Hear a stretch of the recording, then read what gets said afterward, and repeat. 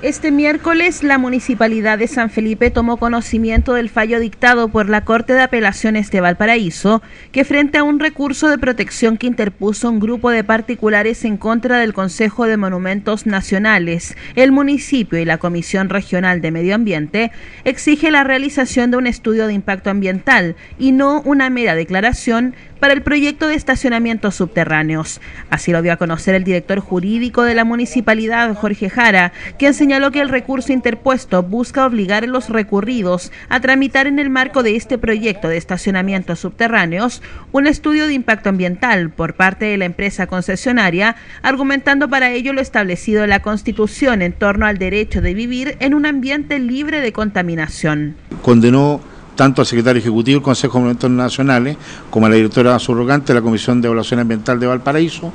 a, eh,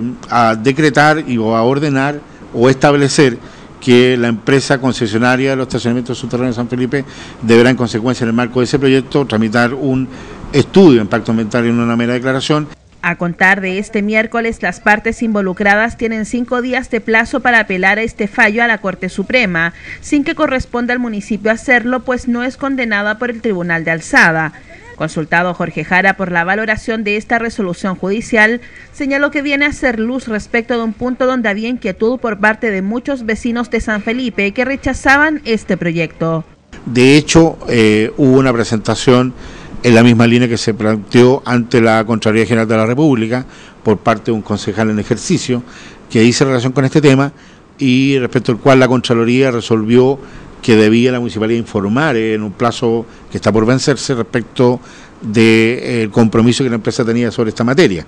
Por parte de los titulares que presentaron este recurso de protección fue Manuel Zúñiga, quien se refirió al fallo de la Corte de Apelaciones. El profesional dijo estar conforme por la resolución del tribunal, explicando que de no apelar el Consejo de Monumentos Nacionales como la Corema, la sentencia queda firme y será necesario realizar un estudio de impacto ambiental que en definitiva es lo que ellos están pidiendo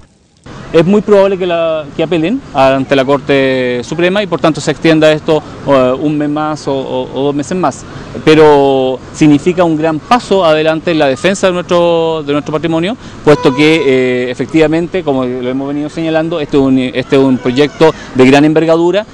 En este contexto, estable señalar que la municipalidad tiene un plazo de 20 días administrativos para pronunciarse sobre una decisión que está pendiente por parte del Consejo Municipal, frente a una petición de modificación de la ordenanza que regula las tarifas contextualizadas en las concesiones del municipio. Lo anterior a propósito de las tarifas que está aplicando la empresa de estacionamientos superficiales desde el 1 de marzo de 2012.